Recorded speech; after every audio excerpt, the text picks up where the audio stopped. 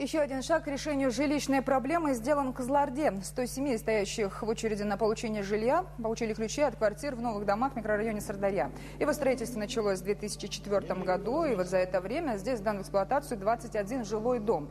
Ключи от новых квартир получили еще 100 козлардинцев. И вот развитие жилого комплекса и реализация запланированных проектов продолжается. Но э, и вот до конца года в эксплуатацию планируют создать еще два ипотечных и пять арендных домов. А, я бы хотела от своего имени выразить очень большую благодарность нашему президенту, который во время, хотя у нас по миру идет кризис, но несмотря на это, он все-таки не забывает о нас, о госслужащих.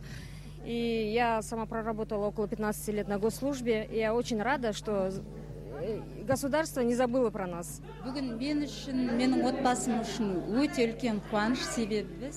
Я очень рада и счастлива. Это долгожданное событие. Сегодня у нас двойной праздник. Новая квартира и мне первый гость Аким города. Мы получили от главы города ценные подарки.